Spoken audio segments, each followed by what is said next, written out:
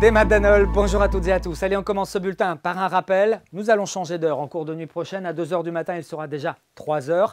C'est le retour de l'heure d'été, ce qui ne fera pas vraiment revenir le soleil, bien au contraire, c'est la dépression Nelson hein, qui nous a valu un fort coup de vent ce jeudi, qui après avoir contourné les îles britanniques, eh bien, revient dans notre direction, non pas avec du vent fort, mais avec une perturbation et un temps maussade. Il pleuvra ce dimanche matin sur le Finistère, sur le Creuse-Braise, sur le Morbihan, mais également en Loire-Atlantique, une perturbation qui prendra la direction de l'île-et-Vilaine et puis de l'intérieur des côtes d'Armor. Quelques éclaircies tenteront de résister encore entre la côte d'Émeraude et le pays de Fougères.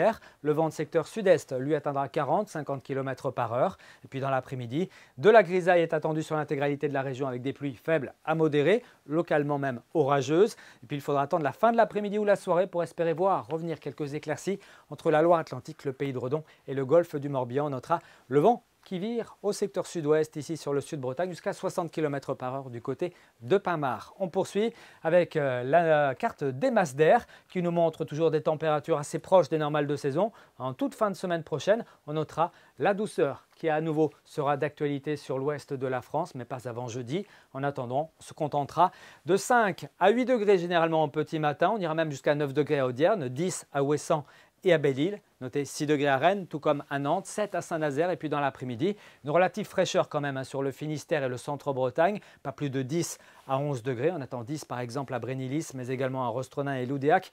11 degrés pour Brest, 11 degrés pour Brignogan, jusqu'à 12-13 degrés sur la côte d'Émeraude et 13 degrés également en Loire-Atlantique. Pour la journée de lundi, le temps sera variable avec des éclaircies mais également des averses plus nombreuses près de la façade atlantique où le vent atteindra jusqu'à 60 km par heure de secteur sud-ouest. Et puis pour mardi, une nouvelle perturbation investira la Bretagne avec de la pluie et certainement un renforcement du vent sur la pointe bretonne autour de 80-90 km par heure pour les dernières estimations. On va surveiller cette situation. En tout cas, la douceur sera d'actualité sur la semaine. Des températures donc supérieures de 2 à 3 degrés en moyenne hein, sur ces six prochains jours par rapport au normal de saison.